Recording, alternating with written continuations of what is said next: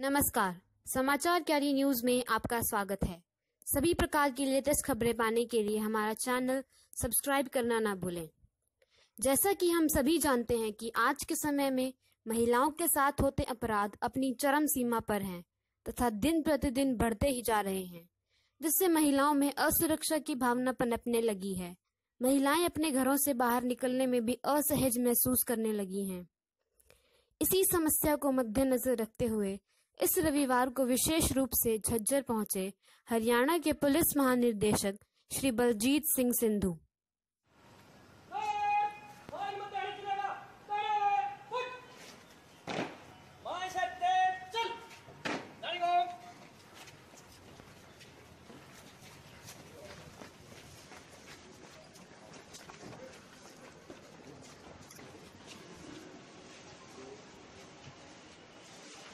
उन्होंने पत्रकारों से रूबरू होते हुए कहा कि महिलाओं की सुरक्षा एवं सम्मान को सुनिश्चित करना तथा महिला विरुद्ध अपराधों को रोकना पुलिस की पहली प्राथमिकता रहेगी।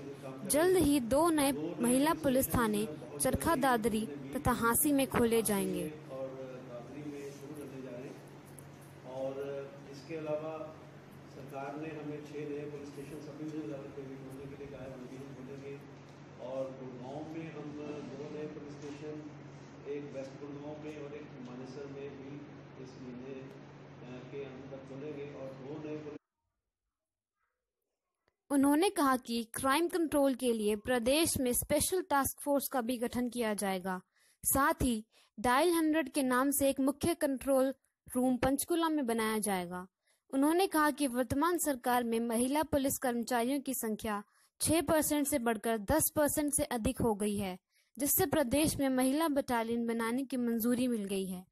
उन्होंने बताया कि आमजन की सुरक्षा हेतु प्रदेश के हर थाने में मित्र कक्ष तथा काउंसलर नियुक्त किए जाएँगे।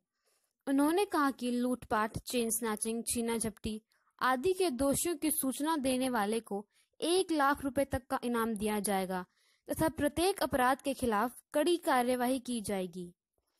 प्रेस वार्ता के पश्चात पुलिस महानिदेशक ने सभी पुलिस अधिकारियों के साथ बैठक ली तथा अपराधों को रोकने के लिए दिशा निर्देश दिए गए। बैठक के पश्चात झज्जर पुलिस लाइन का निरीक्षण किया गया।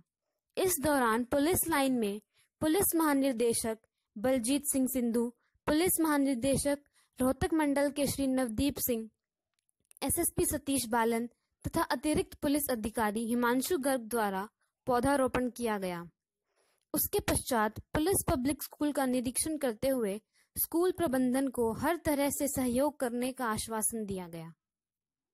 समाचार कैडी न्यूज़।